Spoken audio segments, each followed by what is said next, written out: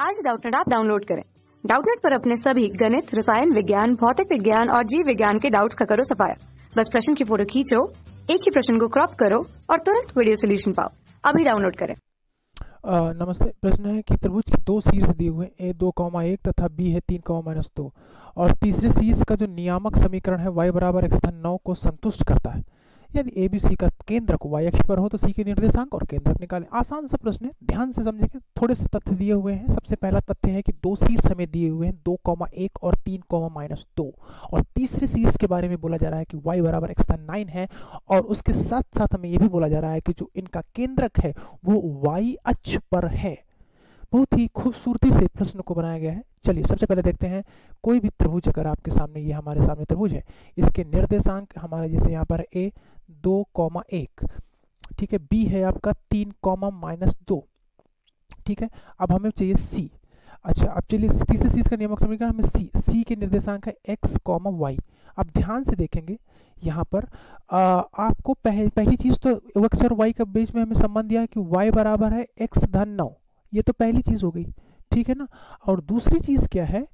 अगर आपका यहाँ पर केंद्र ओ है तो O के निर्देशांक, देखिए यहाँ से ये हो जाएगा आपका x1 ये y1 ये हो जाएगा आपका x2 ये y2 और ये हो जाएगा आपका x3 और y3 तो अब अगर इनके निर्देशांक की बात करते हैं, बिंदु ओ के तो बिंदु ओ के निर्देशांक क्या हो जाएँगे? केंद्र के x1 धन x2 धन x3 बटे तीन, कॉमा y1 धन y2 धन y3 बटे तीन, हो जाएगा। अब यहाँ से देखिए ओ के निर्देशांक की अगर हम बात करें x1 की बात अगर हम करते हैं तो ये हो जाएगा आपका दो, धन तीन, ठीक है? और उसके बाद धन यहाँ से हो जाएगा x, ठीक है? बटे तीन। और y की जगह हो जाएगा आपका एक माइनस दो, धन y बटे तीन। अब इसको आप देखिए यहाँ से तो O के निर्देशांक क्या मिल जाएँगे आपको? पाँच, धन x बटे तीन, कॉमा y माइनस एक बटे तीन। अब प्रश्न में लेकिन एक बात दी है कि केंद्रक y अक्ष पर है। केंद्र कहाँ पर है? वाई एच पर। और वाई एच पर होने की स्थिति में जो इसका भुज होगा वो क्या हो जाएगा? ज़ीरो यानी पाँच धन एक्स बटे तीन का मान क्या हो जाएगा? ज़ीरो यानी एक्स का मान क्या मिल जाएगा हमें? माइनस पाँच। ठीक है? आ, तो हमें इसका मान चाहिए नहीं। आ, तो x का मान तो माइनस पाँच मिल गया। अब चलिए y की बात करते हैं। तो अब y के लिए हम जो हमारे पास समीकरण है, y बराबर एक्स धन नाइन इसके बारे में बात कर लेते हैं। y बराबर है x धन नाइन अब यहाँ से मान मिल जाएगा माइनस पाँच धन नौ, यानी y का मान मिल जाएगा हमें चार।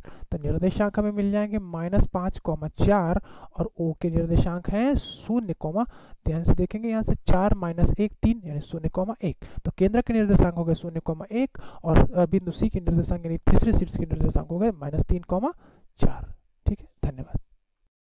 कक्षा छठी से बारहवीं से लेकर NEET I I T JEE वो एडवांस के लेवल तक। एक करोड़ से ज़्यादा छात्रों का भरोसा। आज ही डाउनलोड करें डाउट नेट ऐप या व्हाट्सएप करें अपने सारे डाउट्स आठ चार सौ चार सौ चार सौ पर।